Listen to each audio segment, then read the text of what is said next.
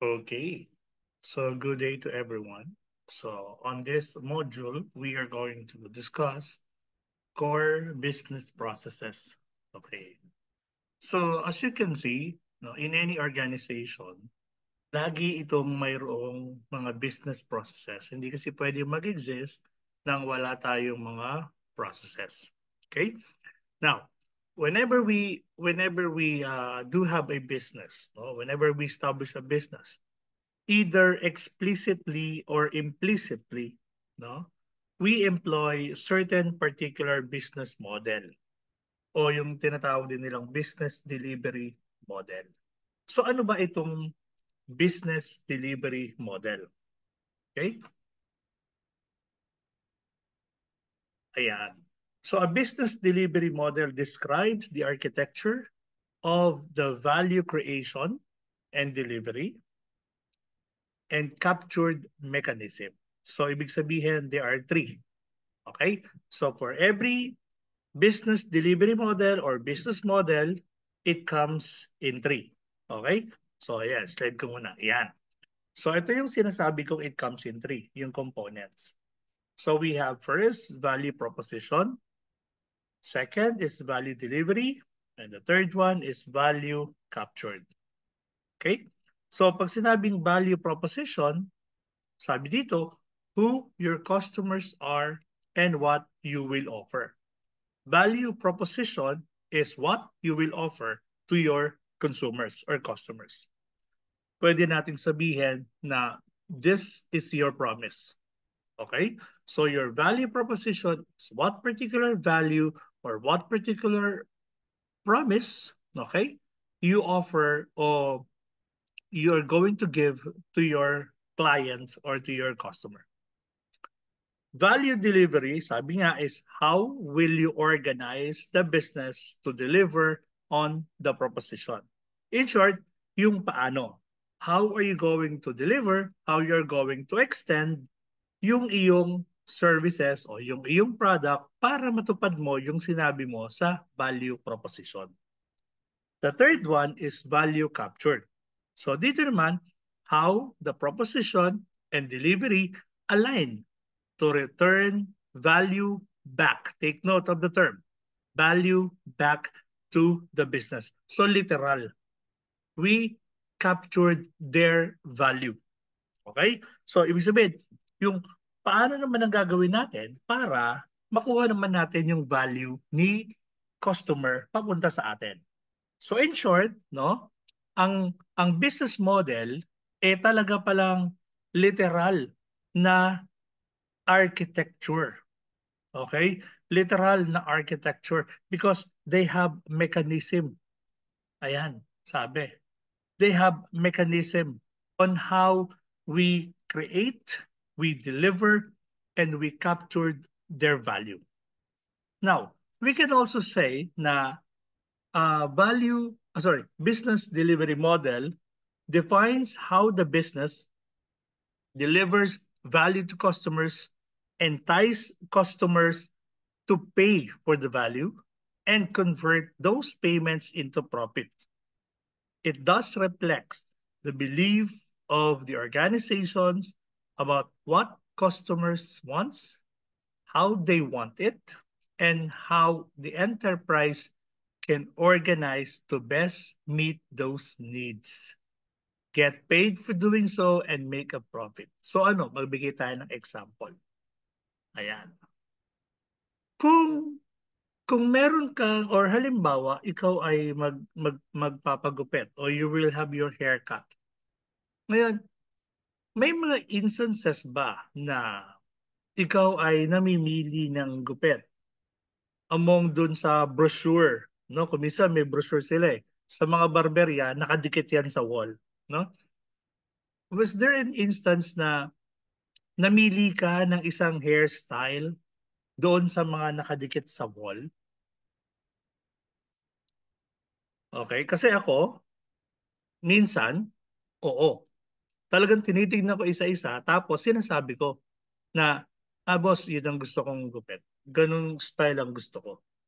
Ngayon, ang tanong, susundin ba nila yung sinabi mo? Yan. gagawin kaya nila yung hairstyle na gusto mo? Okay? So definitely gagawin nila yon. Bakit? Kasi that is what you want. Kasi yun ang gusto mo. In that way kasi, magbabayad ka talaga ng maganda for the services. Di ba? Minsan nga eh, dahil doon, nagbibigay ka pa ng tip. Ngayon, ang tanong, ba't ka pa nagbibigay ng tip? Eh, magbabayad ka na. Yan. Una, yung barberia nila ay fully air-conditioned na. Pangalawa, may pa-wifi pa. Pangatlo, pagkatapos ng gupit mo, may massage pa. 'di ba? May massage pa sa balikat at sa likod. Minsan hanggang balakang 'yan. Ngayon, ang tanong, uh, kasama ba sa business model nila yung lahat ng 'yon? Okay? The answer is yes. Kasi isipin mo, ano lang ba yung product nila? O, di ba? Haircut. Oh, pwede namang haircut lang ibigay sa iyo eh. Kasi yun lang naman ang kailangan mo. Pero para masigurado nila na ikaw ay magiging komportable at para masigurado nila na sila ang pipiliin mo para ikaw ay magpagupit. Ginawa nilang malinis yung barberya, fully air-conditioned, nagkaroon ng wifi connection, at yun nga, meron pang libreng masahe. Minsan nga may TV pa, di ba? May pa TV-TV pa yan. May, minsan, ano ka pa, may libre ka pang kwento. Diba? Yung mga barbero, yung sinasabi nilang kwentong barbero. But the thing is, kasama kasi talaga. Oh, kasama yun. Kasi that is part of the business model. O, tignan mo ha, isa-isayin natin yung components niya. Creation, ano yung creation doon? Ano yung ano ba yung pinramis niya sa'yo? Ah, sa barberyang to, aircon sa barberiang to may wifi. So habang naghihintay ka, hindi ka maiinip. Just scan the QR code. Makakonek ka na sa wifi. O di ba? Tapos, ang bait pa ng barbero. Sinusunod kung ano gusto mo. Kahit hindi bagay sa'yo, susundin nila yun. Bakit? Kasi gusto mo eh. Pero siyempre, bibigyan ka ng payo. Sir, medyo ano sa sa sa style ng shape ng ulo mo. So parang baka medyo hindi ganun katulad dyan ang lumabas. Yan. So meron din silang mga ganun. Okay? Kaya sabi din, describe and classify businesses but is also used by management inside companies to explore possibilities for future development. Alin yun? Yung business model. The business model itself becomes the basis for development. Ang kailangan lang ay magkaroon tayo ng business development plan. O di ba ang galing? Kasi your business delivery model will completely describe how your business works. Kung paano siyang umiikot, kung paano siyang tumatakbo. Okay? Kasi isipin mo na lang, oh, sa example ko nga, barberia. Eh, pag barberia, gupitan lang yan. Di ba? Kumpara nyo yung mga barberia noon. Di ba? Noon, talagang pag magmagupit ka, okay, may electric pan, misa di pa gumagana. Di ba? Oh, eh ngayon, talagang they make sure na ikaw ay komportable. Yan. So, ganyan guys ang value delivery model or tinatawag na commonly known as business model. Okay? So, wag kalimutan niyang ano na yan, components na yan. Ha? Now,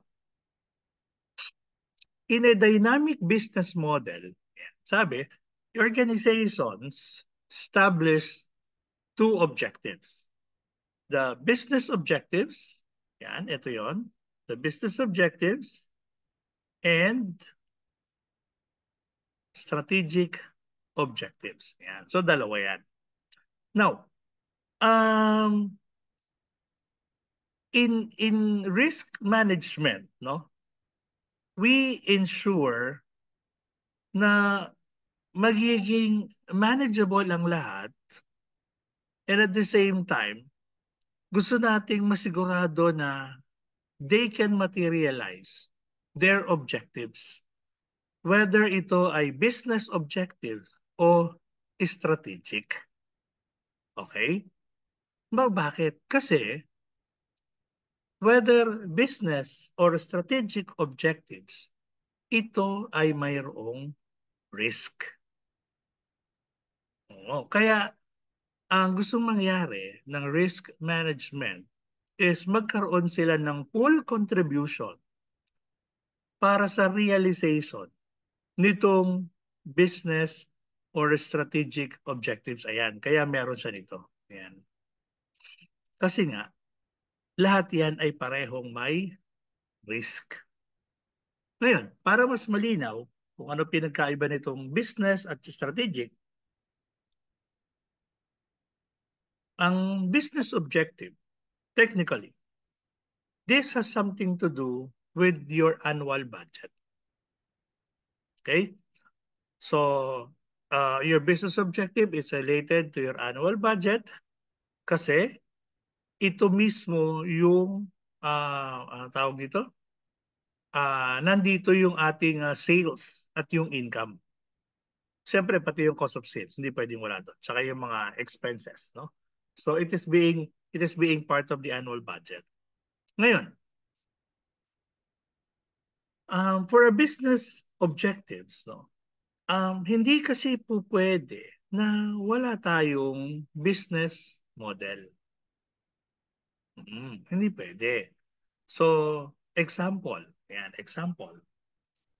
Siyempre, uh, naturally, ang, ang part ng business objective lagi is uh, how can we have sales, how can we uh, generate income, etc. etc.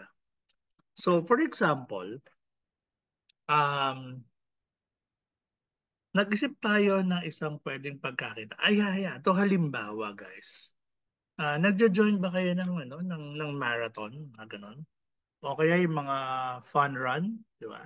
Uh, usually sa ano sa sa grandstand, di ba? Merong mga ganon. Yan.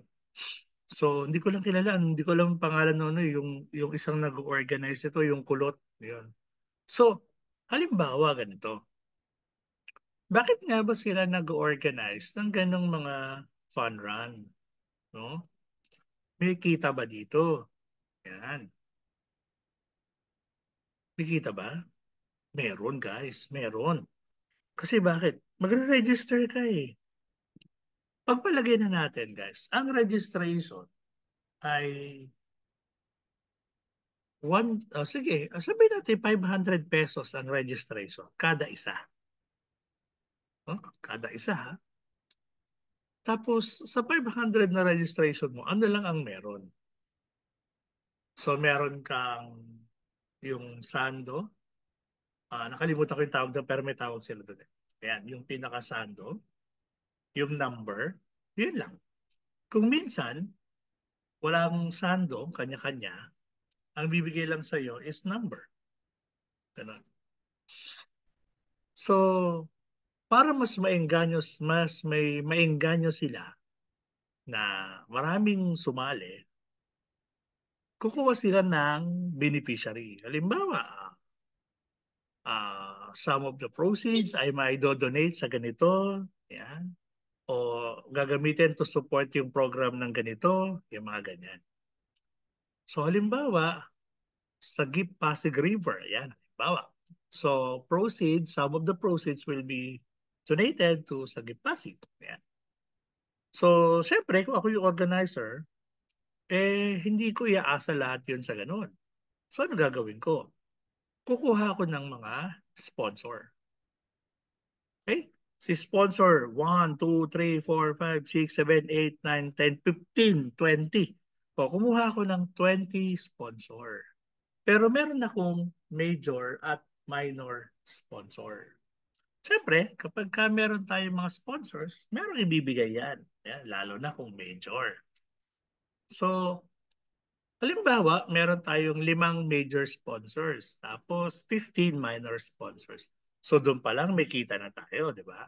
Ngayon, ang tanong doon, paano ko makukumbinse itong mga major sponsors na ito no na mag-sponsor.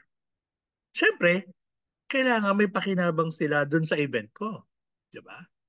Kasi kung wala silang magiging pakinabang doon sa event ko, malamang hindi ko sila makonvince. So doon ngayon papasok tayo. Siyempre, magkakaroon tayo ng business objective. Saka tayo gagawa ngayon ng plano patungkol doon.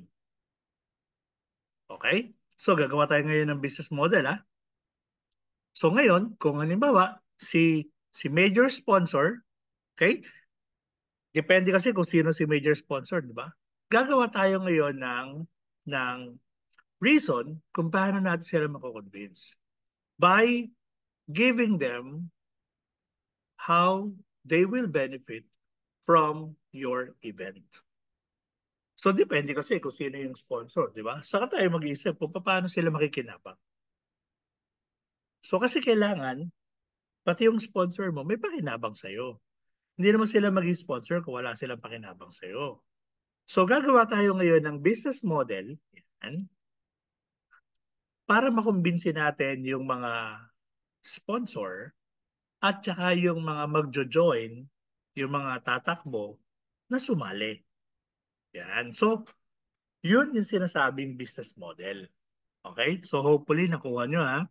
So, ngayon, itong business model na to, as mentioned kanina, it becomes your basis for business development. And para maging maging uh, uh, para maging magaano siya useful for business development, meron tayo dapat annual plan at saka business objective ulit. For every business model, may business objective at may annual plan. That becomes the basis now for development. Okay? Ulitin ko ha. Ngayon, sir, sabi mo, laging may risk. Ayun, laging may risk. Siyempre, laging may risk. Kahit sa pagde-develop ng business model, may risk yan. Bakit? Kasi minsan ang iniisip natin guys, something new. Alam niya naman, pag something new, minsan, hindi, since hindi tayo pamilyar, ayaw natin sa mga bago. So nandun yung nandun yung risk doon na uh, papatok ba ito o hindi? Kakagatin ba ito o hindi? So nandun yung risk. Okay? Kaya si risk management will ensure na itong risk na ito ay hindi magiging sagabal. Na na uh, kahit siya ay bago o robust, eh, eh matatanggap siya ng, ng market. Yun. So kaya napaka-importante, no? Napaka-importante ng risk management. Yan. Pagdating sa sa business model. Okay? Okay. So, yung ano naman, yung strategic objectives. Siyempre, ang nandyan ay yung business strategy natin at saka yung overall objectives. Yan. So sa sa ano kasi sa sa business strategy, syempre, uh, ano ba yung ano natin? Ano ba yung gusto nating mangyari talaga? No? Ano yung gusto nating mangyari? At paano natin gagawin na ito ay mangyari? On. So we are now going to decide on our business strategy para ma-deliver yung value. Kasi kanina binanggit natin, we create value. So, part pag pa sinabi kasing strategic, uh, it's a plan, no? It's a plan. So, it's more of now delivering the value. Okay? So, paano natin to gagawin? Paano natin to may deliver? Yan yun. So that's why we have our business strategy and our or our our or overall uh, Oh, I guess, uh, yeah, sorry. It's not overall uh, objective, it's overall strategy, sorry. Uh, overall strategy yan. So, business strategy and overall strategy. So, yan ang kailangan naman natin. So, kaya yan ang kailangan natin ma-identify at maging very definite tayo dyan. Okay? So, again, ito ay nakabase pa din sa ating business objectives. Oh, kasi ano pa rin naman yan eh kaduktong yan. Okay? Uh, kailangan wala kasing disruption. Kailangan walang makakapigil sa atin. Kailangan kahit na may mga uncertainties ay ma-overcome. Okay? Ganun sa dapat. Parang ano, parang yung pinaniniwalaan ng iba na na kailangan pag may plan ka, meron kang plan A, may plan B. Yun. Yung para daw na kung sakaling hindi mag-work yung yung plan A, eh may plan B ka pa. Yun. So, sorry ha, pero kasi iba pa na ako sa plan A at sa plan B. Yan. So ito guys, yung business development model. So kung mapapansin nyo, we have strategy, we have operations here. Okay? Strategy, sabi dito, where the organizations wants to be. Operation is kung nasaan tayo ngayon. Ito yung current. Okay? Siyempre, currently, ito yung ating operations. Very smooth, very effective, no disruptions or failures. Okay? Pero syempre, kailangan natin siyang reviewin. Reviewin. Bakit? Kasi ito yung gusto nating mangyari. So, upon uh, upon reviewing our operations, we can now plan strategically for development. And dahil dito, no, dahil dito, okay, we can now come up, dahil may strategy na tayo eh, we can now come up with our tactics. Okay, sundan ha. Operations, ayun, nakita niyo itong arrow na to, ayun, may arrow, oh, yan. May arrow up, diretso, yan. Kasi nga, ini-evaluate natin itong operations. Ba? Tapos, saka tayo gagawa ng strategy kasi naano natin siya, na-review na natin. Okay? So, ito ulit yung arrow. Ayun.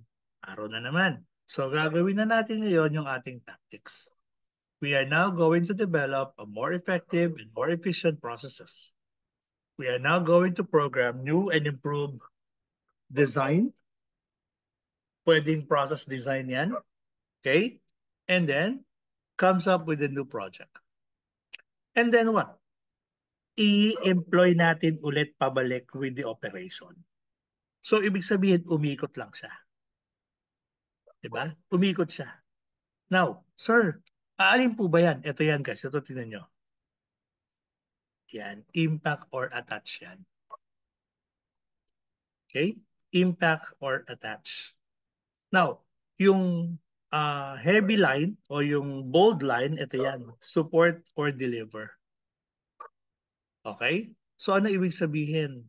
And ibig sabihin guys, ang operations, yan, ang support niya ay dito sa result. How the organization or how well the organization is doing. Pero sa strategy and tactics, the event supports the strategy and tactics. Okay?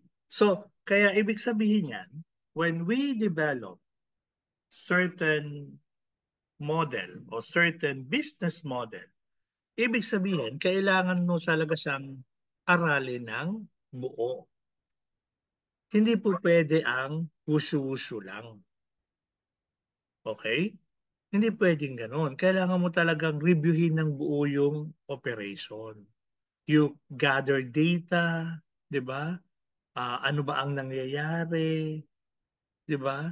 Uh, isama na natin tong mga events na ito, no? Kasi nakakatulong yan sa review mo. Di ba, minsan natanong, ano yung nangyari? Ano yung mga event na nangyari? Uh, ano yung naging cause, etc., etc.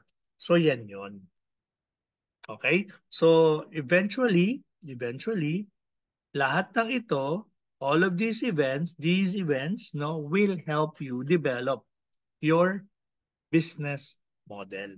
Kaya ano eh, kaya kapag ka yung isang negosyo, nabuo na yung kanyang process, okay, ito ay buo na. Ito ay walang butas, kumbaga. In layman's term, wala siyang butas talagang naaral mo siya. Okay? Wala na yung mga what if, what if. Wala na yon Kasi bakit? Kasi naaral mo na eh. Yung event na binabanggit dito, lahat ng mga possible scenarios na i-consider mo na, na-include mo na. Kaya yung, yung business model mo ay ready-ready na. Kung baga sa luto, eh, talagang plakadong-plakado yung luto mo. Okay? Now, types of business processes. Siyempre, sabi dito, an organizations will have existing business process and these may be satisfactory for generating the required income and controlling costs. To ensure that risk management has an adequate input into the delivery of business objectives, the objective must relate to routine operations. Eh sir, bakit? Kasi in every routine operation, we consider risk management. Why? Because sabi nga kanina, there is risk everywhere. Okay? Kaya nga tamo sabi niya, in some, risk management to make a full contribution. Yun. Kasi nga, we have to consider na sa bawat processes na ginagawa natin ay may possible risk. In that way, magiging vigilant ka.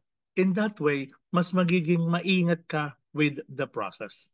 Eventually, marirealize mo na okay siya kasi ma-achieve mo yung objective mo nang walang problema. Kumbaga sa ano eh, nang walang nadisgrasya. Okay?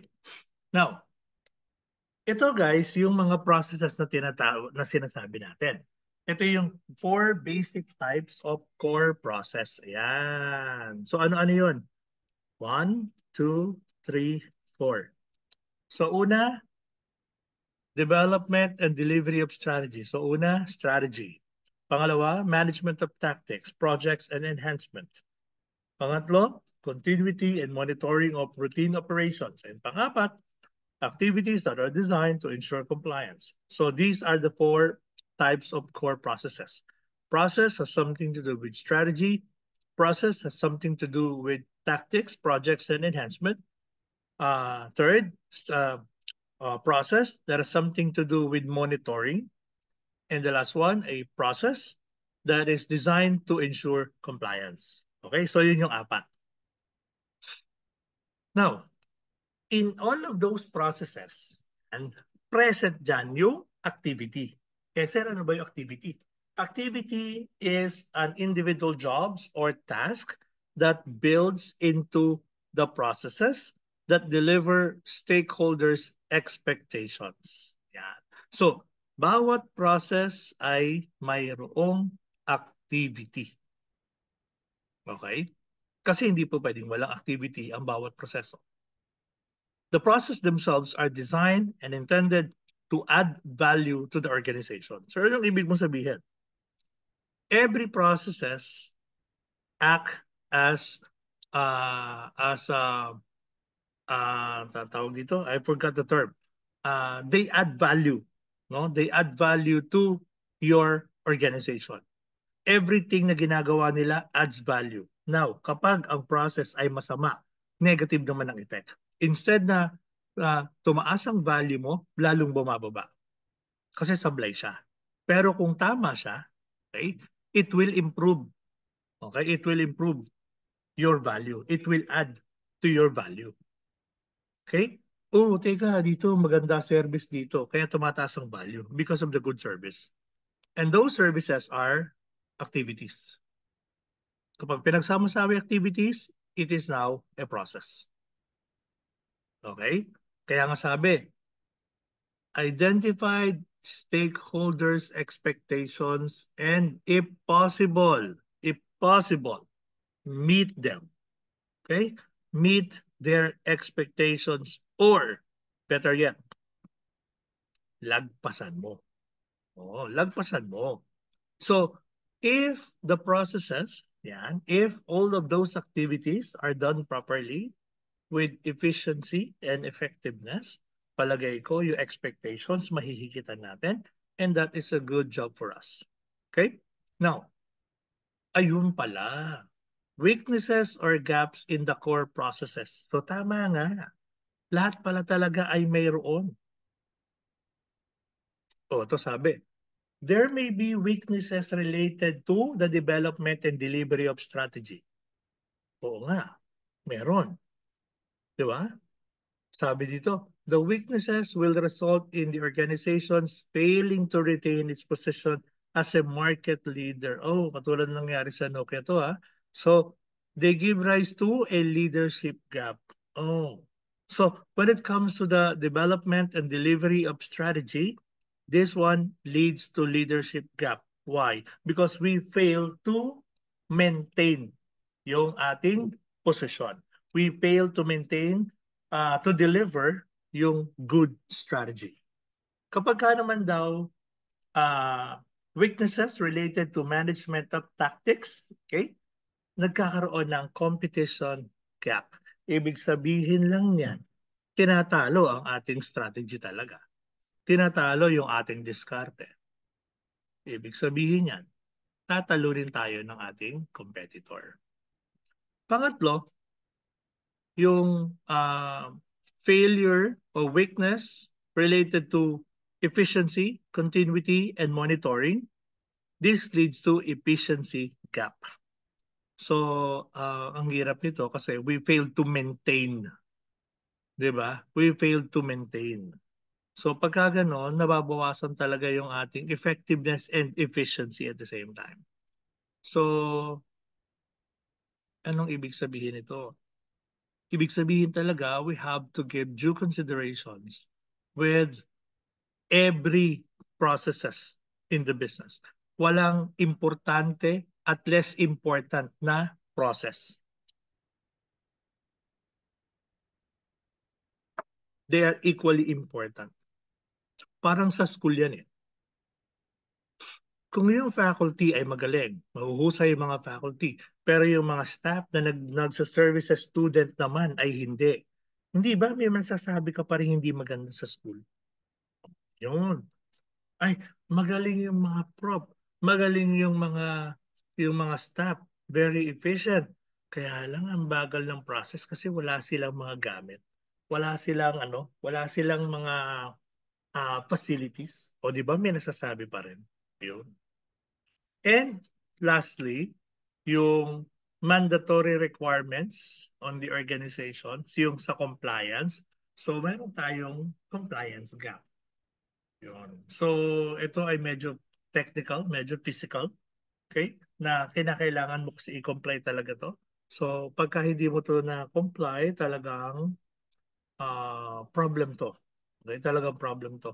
Uh, every every company needs to comply on this, lalo na yung mga may legal implications. Okay? So for strategy and tactics, business strategy is the statement of what the organization intends to achieve and how it plans to achieve it based on the strategic decisions about the future of the organization. So ano meron tayo dito? We have our mission.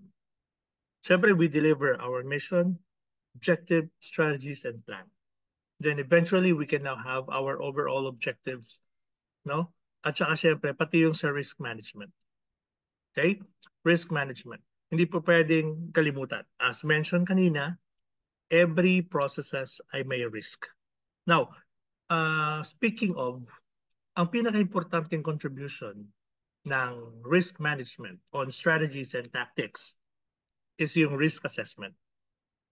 In this way kasi, with risk assessment kasi guys, ma maiiwasan natin. Okay? Maiiwasan na natin yung yung uh, yung risk. Okay? Yung yung uh, halimbawa eh uh, may strategy tapos upon the risk assessment sobrang taas ng risk pala niya. So anong dapat ano na pwede natin gawin? Pwede na natin ngayon baguhin yung strategy natin. Why? Kasi nung inassess natin, masyado pa lang, masyado pa lang, uh, uh, ano tawag dito? Masyado pa lang critical. Yan. Masyado pa lang mahirap. Baka hindi natin kayanin yung, yung magiging implication. So, buti na lang nagkaroon tayo ng risk assessment. So, yun ang kagandahan nun. Okay? Pati yung mga disruptions ay pwedeng maiwasan. Okay? Yung pagkaantala, mga ganon. So, ibig sabihin lang yan, no? Ganun ka-importante talaga ang risk management in the uh, organizational processes. Okay? So, halimbawa, ayan, everybody thinks na kailangan mag-change ang technology, kailangan mag-adapt.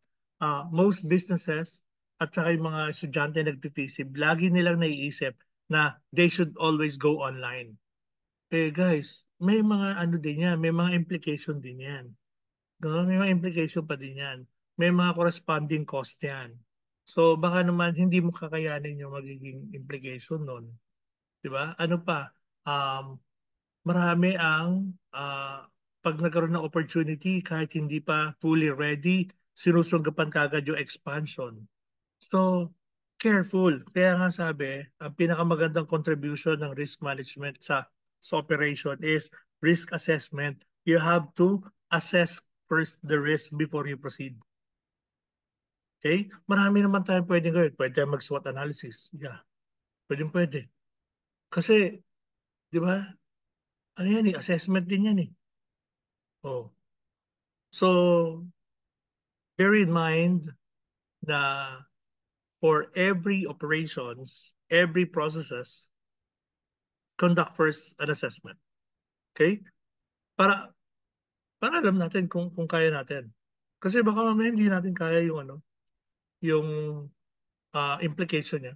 Baka hindi natin kayanin yung, yung balik. Di ba? So baka maging detrimental to for us. Ayun. A detailed risk assessment. Ayan. So detailed risk assessments on the events and circumstances. That is very useful. Okay? Para sabi ko nga kanina, para kung kailangan natin na baguhin yung strategy, we can still do so. Magagawa pa natin. 'Di ba? Kasi ano eh, hindi pa naman siya nangyayari eh, 'di ba? Or kung kung meron tayo na buong strategy, then upon assessment, baka kailangan natin siyang i-correct. Okay? Meron ako isang napanood sa Netflix. Uh, yung and, ano, uh, Under Paris yata ang title nun. Or Paris Under. Na merong shark. Eh yung palang ano nila doon, yung palang parang uh, di ko alam kung lake yun or what eh meron pala dong mga ano, meron pala dong mga active pa na mga uh, bomb. So eh nagpaputok ng baril kasi nga may shark. Ayun, na-trigger. Sumabog. Yung buong Paris ay ano, na under ng water. Diyan, sumabog eh. So, naging ano sila, kala mo binis. Kaya lang, eh, sa binis, nakalutang yung kalsada doon, wala, wala, tuwig lahat. So, ganun. So bakit? Kasi hindi uh, hindi nag-conduct ng risk assessment bago gumal. Okay? So ganyan siya. Now, okay na yan kasama yan. Effe effective and efficient operations. Yan. So the overall objective of risk management in two operations is to achieve operational efficiency and ayun nga, walang disruption disruption of operation is likely to be caused by hazard risk materializing. So kapag nagmaterialize itong mga risk, ah sorry, nagmaterialize itong mga hazard na ito, it will bring disruption or pagkaantala. Yon, pagkaantala. So ano-ano ba 'yon? For example, may pa-concert, biglang umulan. Ayun, may disruption 'yan. Eh, bago naman umulan, nakikita mo naman yung panahon. Di ba? Alam mo kung uulan o hindi. So, alam mo naman tag-ulan. Di ba? Alam mo tag-ulan. O, oh, edi sana napagandaan mo na sa kagad. Yun yung nakagandahan na may risk management. Na napaghahandaan mo sa kagad, naka, nakakapag-ready ka kagad. So, so, ibig sabihin, tuloy pa rin. Diba? Tuloy pa rin. O, di, efficiency pa rin So, ganyan ang ano, ganyan ang risk management. Hindi po pwede yung oh, pagka to nagkaganto stop na. Hindi ganoon. Okay, maliwanag ha. So hopefully maliwanag na. Ayan. So risk management have a major impact on the operations. All stages of the risk management process are relevant to the continuity of uninterrupted efficient core business process. Yon. So, dito, sabi nga, risk recognition and rating responding to the following. Significant risk, resource control, reaction planning, reporting on the risk and review, and monitoring, yan, which is critical. Yan. So, just imagine one particular risk management, ina-address yung mga yan. Ngayon nyo sabihin sa akin na risk management is not important or not significant with operations, with processes, or with the organization. It is really sad na may mga organizations na hindi masyadong nakikita yung importance of risk management. Minsan, sorry to say, even ang mga schools, mga universities ay hindi masyadong nabibigyan ng emphasis yung risk management. Yan. Although they have yung basic, pero others ay hindi na. No? Ganon din sa bahay, kung minsan hindi natin to masyadong nabibigyan ng importansya. Isang halimbawa na lang, yung mga nagcha-charge ng cellphone na iniiwanan, o kaya yung sa gabi, sasaksak yung charger, sasaksak yung phone, tas tutulugan, kinabukasan na huhugutin, mga ganun. Or kung minsan, wala nang hugutan yung charger, nakasaksak na lang. So, yung mga ganun ba? Minsan uh, wala sa atin yon pero it's it's a risk. It's hazard pala, sorry. Hazard yon Kasi anytime pwedeng mag-short circuit. Anytime pwedeng mag-overheat.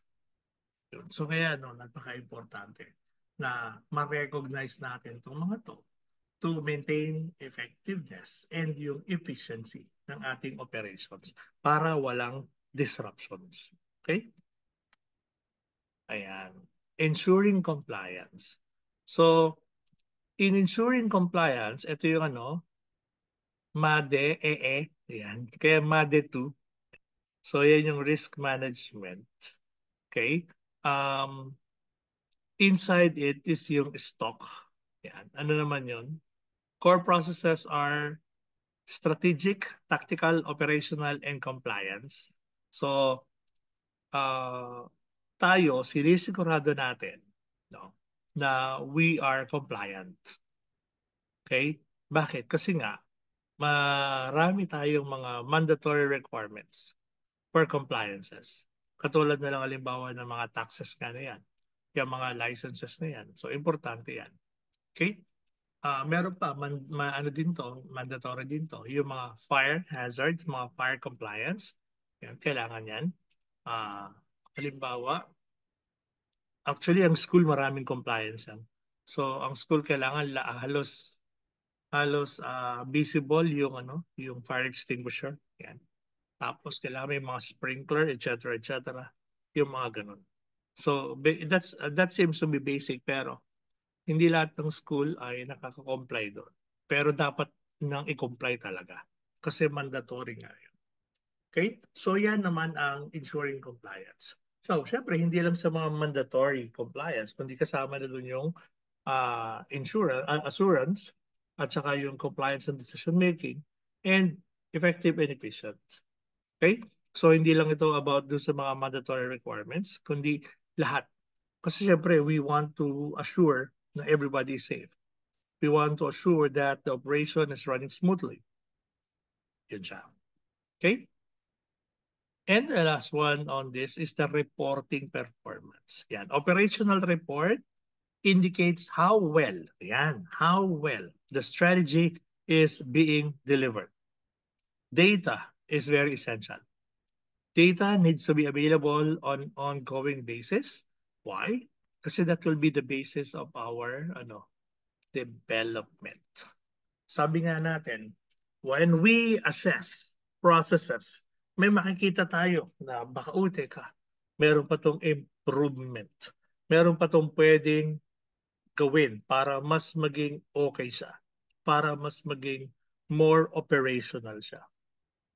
Ngayon, um, karamihan sa transactions ngayon napapadali kasi pwede na siyang gawin via via internet, 'di ba? Enrollment, ginagawa na natin 'yan via internet. So you just use QR codes para dito. Yung mga queuing, yung purchases, 'di ba? Napakadali na. So, iyan ba kaya? So that's why operational report is very essential. Kasi this will lead to a decision whether to adopt certain changes or not, or just retain. Okay? Sir, adapt natin. Okay, if we're going to adapt, how much will it cost? Yun. So may mga ano, may mga ganong tanong yan. Kaya napaka-importante na mayroong report. Kaya kahit sabihin natin na ang report eh pwedeng physical o kaya naman ay technical ano pa rin, uh, digital okay lang as long as meron. Okay, at least meron tayong basis. And ayan na, that will be all. Thank you very much. Ayan. So, ayan. So, I'll stop the recording na rin.